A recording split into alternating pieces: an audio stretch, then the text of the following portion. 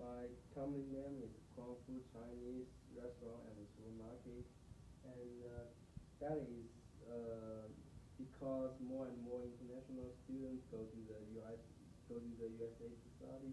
At that moment, a large number of international students, Chinese, some of them uh, can adopt adopt uh, American food. Uh, then they want to choose Chinese restaurant to have meal. I will have I will buy a lot of items that come from China.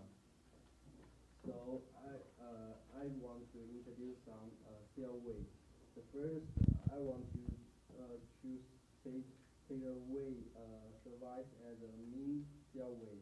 Nowadays um, uh, most uh, people know how to use internet compared to go to the restaurant. They uh, rather uh, like call restaurant and pay for in the internet and uh, my restaurant is in the Atlanta downtown near to uh, the Great Wall.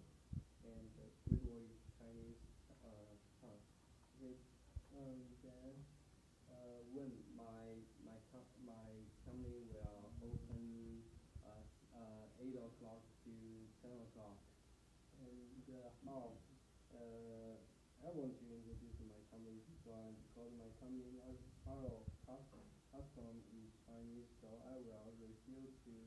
final element is building my supermarket and restaurant, making customer uh, have a sense of go shopping in the hometown. Okay.